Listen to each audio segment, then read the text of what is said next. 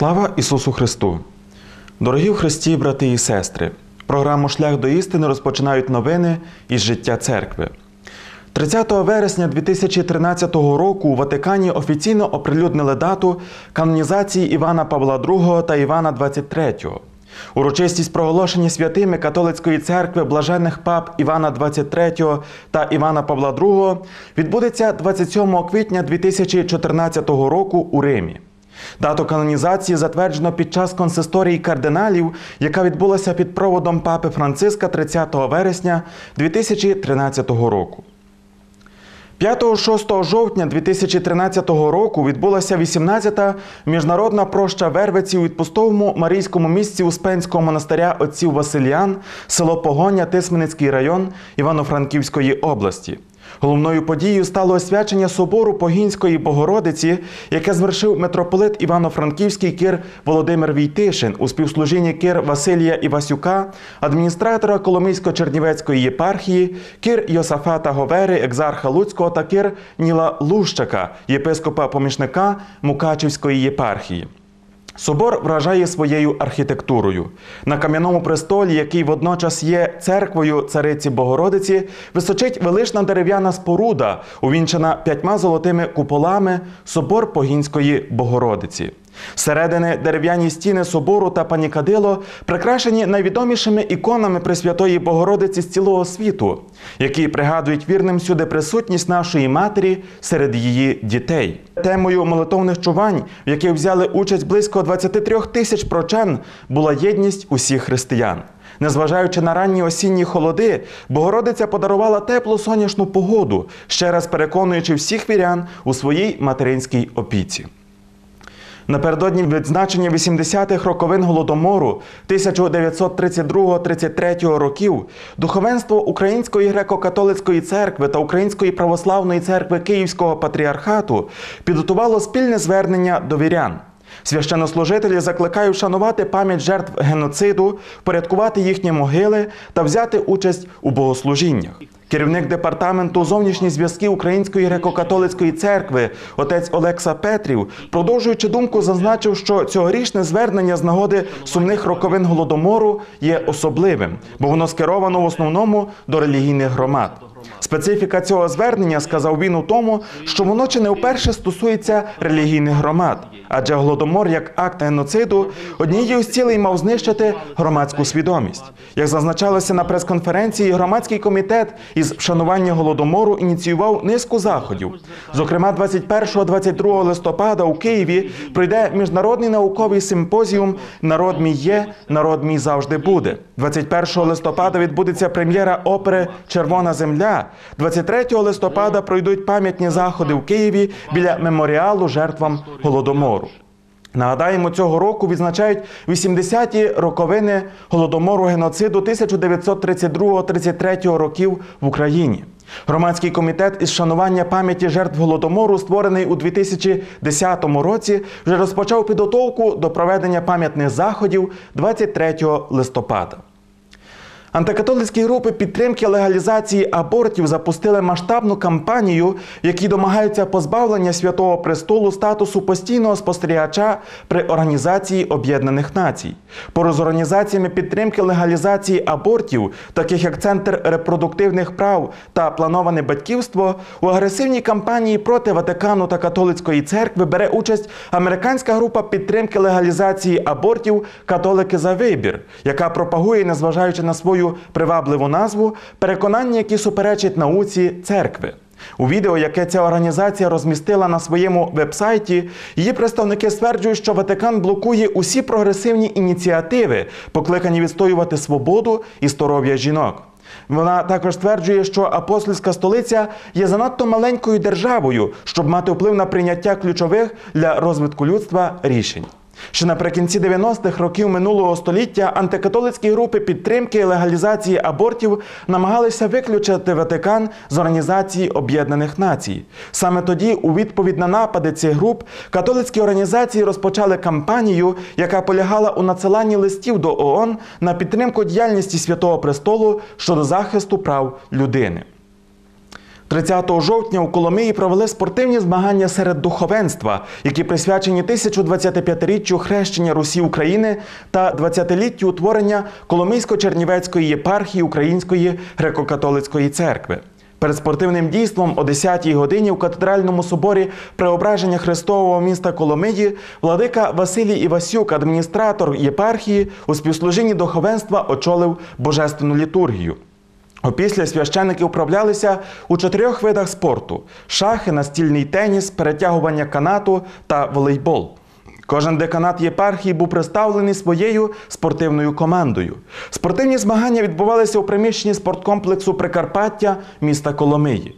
Учасники турніру не ставили за мету показати якісь великі досягнення чи результати, але тим не менше показали приклад розумного використання часу та ведення здорового способу життя. Переможці змагань отримали пам'ятні медалі та грамоти від адміністратора Коломийсько-Чернівецької єпархії Кир Василія Івасюка. На завершення організатори висловили подяку всім учасникам турніру. 14 жовтня ми відзначали 71-шу річницю створення Української повстанської армії. Ми молилися і задували тих людей, які віддали своє життя за свободу та незалежність нашої батьківщини, нашої неньки України. Але сьогодні хотілося б задати ще також і про те, що Українська греко-католицька церква це церква, яка завжди є зі своїм народом, зі, свої, зі своїми людьми. І тому в сьогоднішній програмі ми хочемо задати і про митрополита Андрея Шептицького, патріарха Йосифа Сліпого, єпископів Павла Василика, Софрона Дмитерка, Миколу Сімкайла, отця Григорія Сімкайла, а також про тих єпископів, священників, монахів, монахинь, які в часи підпілля виборювали свободу і незалежність для нашої церкви та цілої держави. Пам'ятаємо собі, що свобода, воля це завжди є потреба і бажання кожної людини. А більшу частину ХХ століття наша церква і ціла Україна була у рабстві комуністичної імперії Радянського Союзу, яка забороняла віру, релігію, мораль. І тому 14 жовтня ми не тільки відзначали річницю створення Української повстанської армії, але так само вшановували пам'ять тих подвижників нашої церкви, які збуджували у людських душах свободу духу.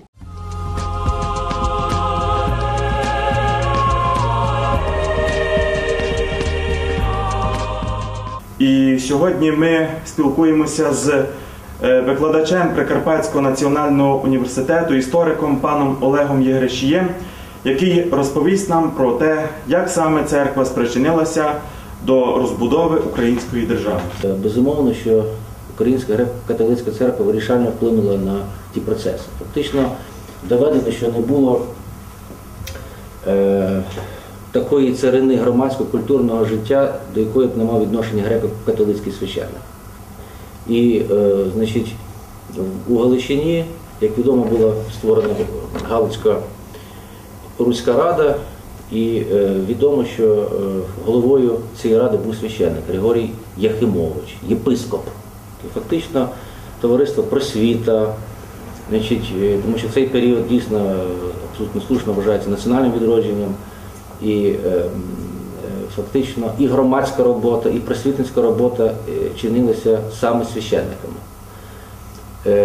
Ну, в тих умовах фактично церква була таким солідним монополістом, як зараз говорять, монополія, тобто виключне право саме і вирішальна роль відродження саме була за священниками греко-католицькими.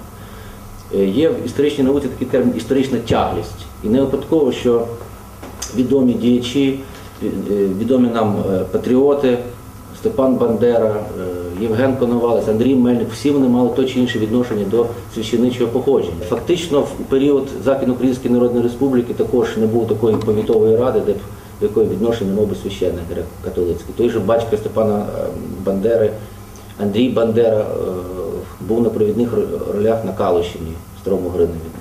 Тобто бачимо, що роль і місце церкви було надзвичайно вагомим. Фактично саме е, у Галичині, у Австрійській імперії, у Російській імперії відомо, що греко-католицька церква була фактично зруйнована і роль православної церкви була мінімізована. Звичайно, що коли ми говоримо про ХХ століття, це епоха Андрея Шептицького, митрополита Андрея Шептицького, роль якого є надзвичайно вагомою. Зараз написано надзвичайно багато дисертацій, кандидатських про цю фігуру. Це і громадська робота, і значить, просвітницька діяльність, політична діяльність. Владика був і, і меценатом великим. Е, Церква це була безумовно величезна інституція не тільки релігійна, вона мала величезний вплив на громадське, політичне, просвітницьке життя тогочасного регіону. Звичайно, що коли ми говоримо про міжвоєнний період, ми не можемо не згадати про Перемиш, Перемишівського єпископа Єсафата Коцеловського, про, е, звичайно, Станіславівського єпископа Григорія Хомишина. Роль церкви була надзвичайно потужною. І доказом того це події, сумні події радянського е, період Другої світової війни, коли практично е, репресії вже радянських спецслужб були спрямовані проти священників. Повертаючись також до репресій, не можу не згадати період Речі Посполитої, коли ну, е, такі, таких репресій проти е, діячів відродження зазнала і церква. Безумовно, що польська влада знала про е, вагу церкви, і тому безумовно хотіла церкву ослабити, розколоти шляхом протиставлення владик Шептицького, Хомишина. Ну, це їм, очевидно, не вдалося, тому що церква е, дійсно була ключовою фактично силою в період міжвоєнного періоду. І цьому заслуга митрополита Андрея Шептицького, який безумовно вважається таким світилом. Зараз часто ми ж говоримо слово харизма, то напевно такою харизматичною постаттю того, того часу безумовно був Шептицький, Андрей Шептицький. Е, Радянські спецслужби прекрасно усвідомлювали, яку роль грала церква у- у тих умовах. Тому що церква була ключовою силою, і роль і у національного відродження є визначальною. Це доказали кількість громадських організацій, просвітницьких організацій. Знову ж таки, переді мною старі фотографії, де е, коли ми говоримо про просвіту, про організацію Скала, інші організації обов'язково є священник, який в міжвоєнний період був катехитом, який проводив велику тільки релігійну, громадську просвітницьку роботу. Тому, звичайно, що радянські спецслужби виношували ідею ліквідації церкви, знаючи, що в умовах радянського тоталітарного режиму вона не потрібна, вона тільки буде шкодити, по суті, тому що, як би сказати, е, це буде фактично е, посягання на монополію тепер вже радянської влади. Е, Ну, ми можемо говорити про катакомбну церкву е, 40-х, 50-х, 60-х років. Цей термін є усталеним історіографії. Ви знаєте, мені здається, що церква у той час була, незважаючи на свою ліквідацію, хоча знову ж таки церква не була ліквідована, вона в підпіллі знаходилася і була дуже сильною, тому що Андрей Шептицький висвітив е, дуже багатьох єпископів. Йосип Сліпий, також ми знаємо його роль под- подвижницьку, який був впродовж 18 років на е, значить, засланні і висвітив дуже велику кількість єпископів, які в катакомбах проводили свою подвижницьку діяльність. І церква була сильною в умовах підпілля, тому що під, священник, який не, не перейшов у православ'я, який не зрікся свого покликання, свого стану, який не став світською людиною, або ем, все-таки будучи світською людиною, в душі залишався жерцем священником, так би сказати. І роль ем, церкви є безумовно дуже значною, тому що це подвиг фактично. В підпільних умовах, в умовах е, постійної загрози покаранню, арешту, е, священники хрестили людей, розказували про е, значить, правду і релігійну, і національну, би сказати, будучи патріотами України, значить, давали шлюб, залишалися вірними св- своєму сану. Це безумовно подвиг. Одразу на Гаці е, наші відомі владики, це і Софрон Дмитерко покійний, це і, Софро, це і Павло Василик, е, це і е, владика Сімкайло, який цього року відійшов у вічність. Це, це теж люди, які ну, ми, ми асоціюємо з ними цю катакомбну церкву, вихід з підпілля вже пізніше. Тому от, роль її надзвичайно ва- вагомою, звичайно. У 80-х роках е, ми знаємо, що церква, як вважається, вийшла з підпілля в 1990 році, але боротьба також була дуже непроста і не випадково ми говоримо про е, те, що значення церкви греко-католицької на національне відродження України в кінці 80-х років є дуже важливим. Е, Перші е, богослужіння ще тоді нелегальної церкви Івано-Франківськ, пригадується церква святого Дмитрія на вулиці е, Галицькій, зараз так, отець е, Борис зараз Гобер очолює цю парафію. Одна з небагатьох, це перша церква, яка вийшла з підпілля. Так? Ем, Пригадуються перші богослужіння під відкритим небом, тому що ще не було легальних храмів. І е, відродження церкви співпало із відродженням, із відродженням народу.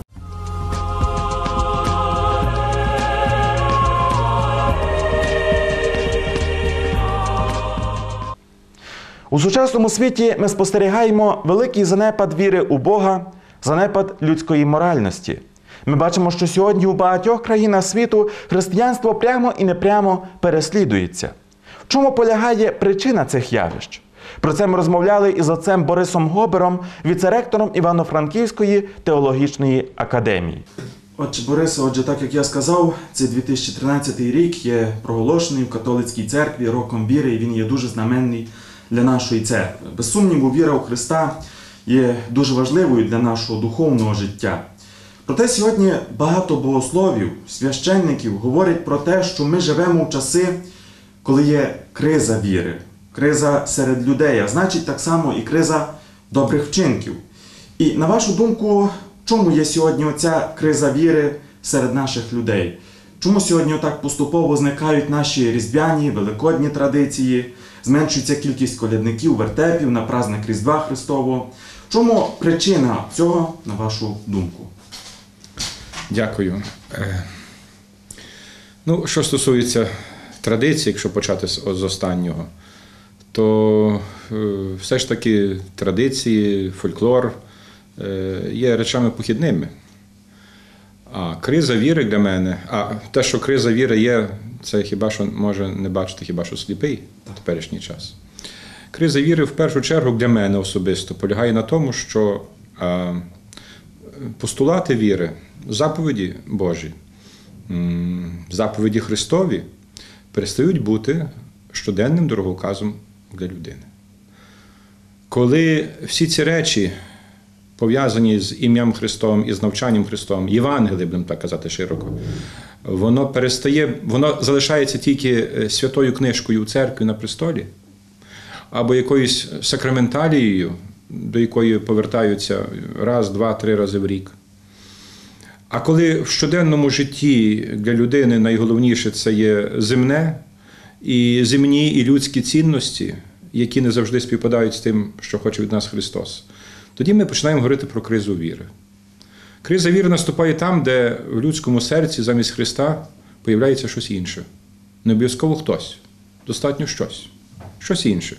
Навіть речі цілком позитивні і цілком благородні: праця, родина, діти, е, кар'єра. Коли ці речі е, для людини стають найголовнішими, і коли е, заповіді Божі, коли, коли Христова мораль перестає бути е, щоденним, е, щоденною практикою людини, коли людина в церкві веде себе по одному, після церкви веде себе по-іншому, коли віра закінчується, починається на порозі церкви, а закінчується на тому ж самому порозі.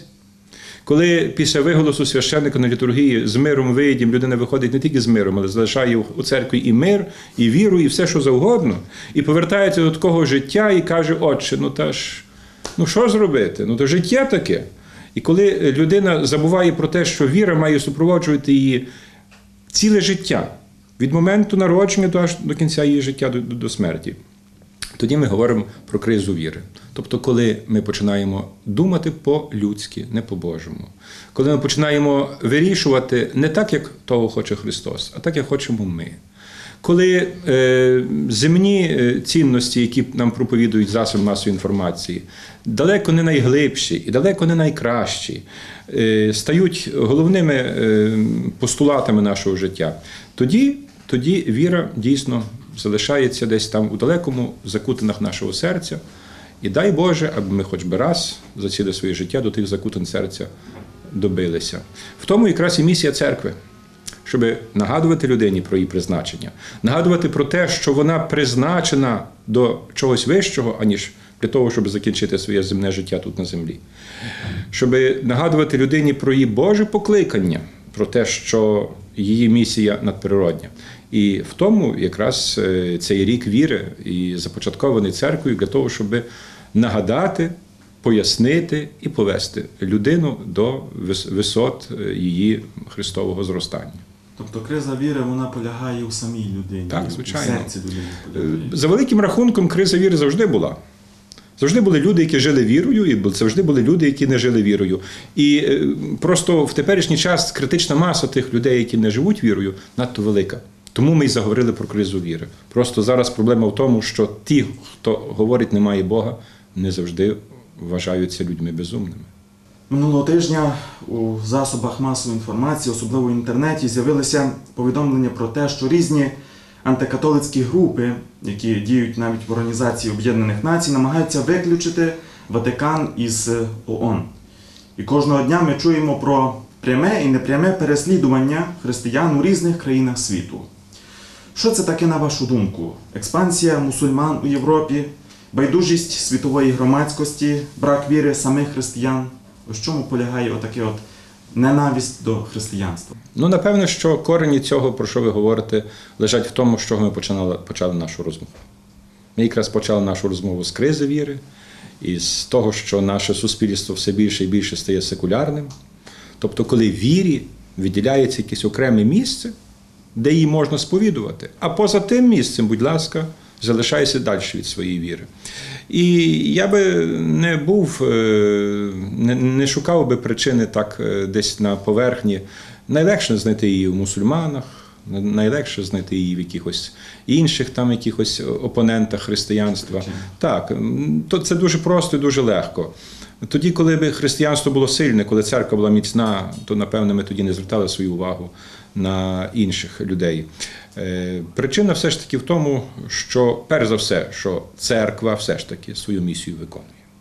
Якби церква була абсолютно байдужа і не виконувала свою місію, яку поручив їй Христос, напевне, тому би її не переслідували. Завжди я пригадую собі одного чоловіка, який перейшов табори, перейшов всякі випробовування тяжкі нашого недалекого і далекого минулого. І він е, говорив приблизно такі слова: каже: коли мене не переслідують, коли мене не сварять, я чуюся е, некомфортно. Значить, я нікому, значить, моє життя абсолютно нікому не потрібне.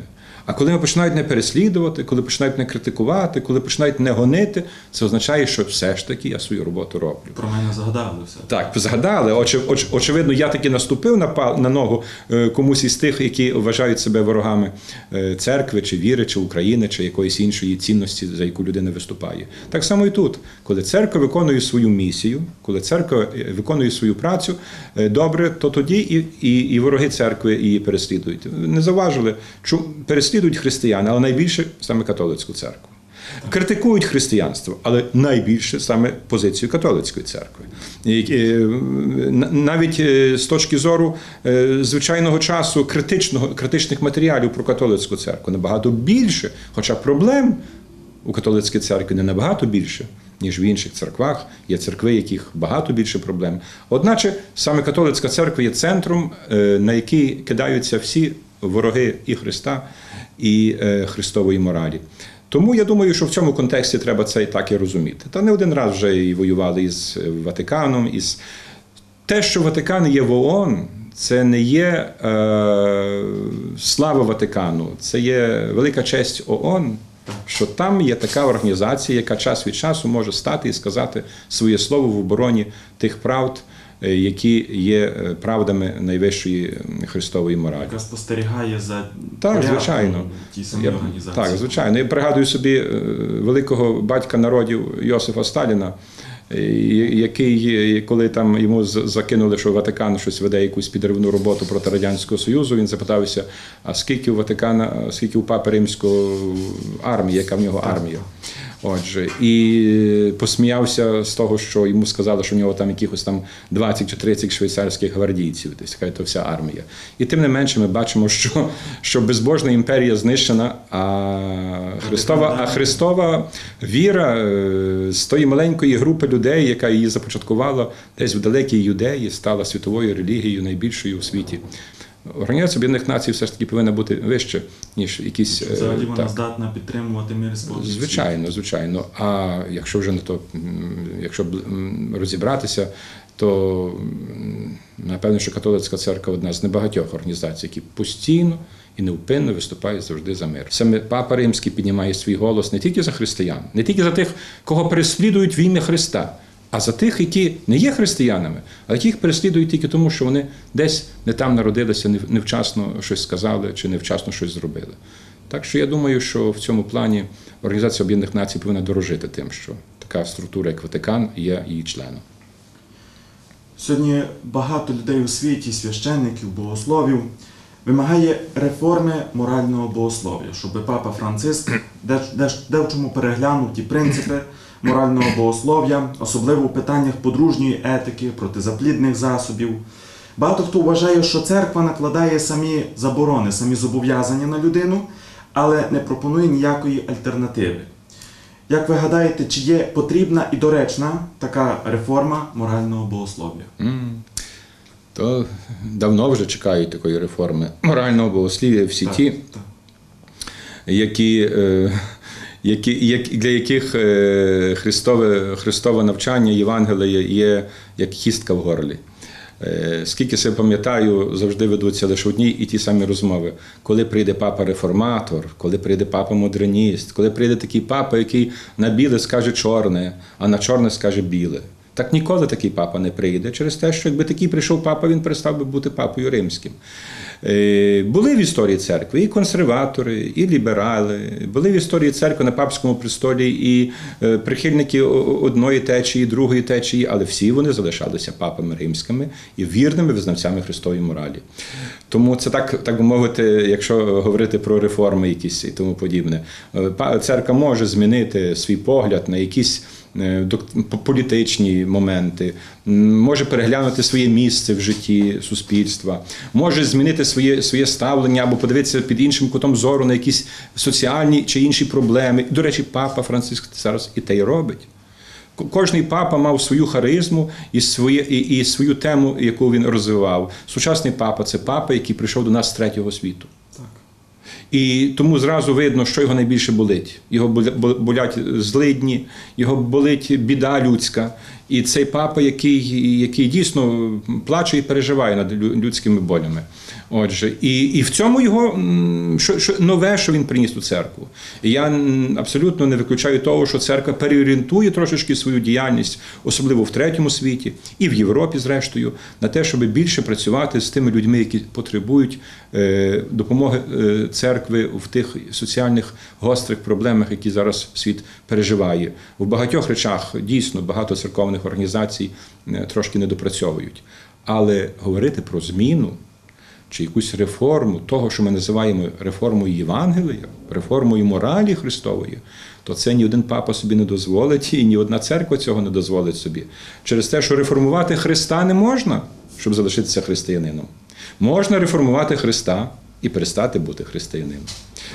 Отже, тому ми, ми повинні говорити радше про інше, про те, щоб церква повернулася ближче щоб, щоб церква поглянула більш прискіпливо на ті проблеми, які має людина.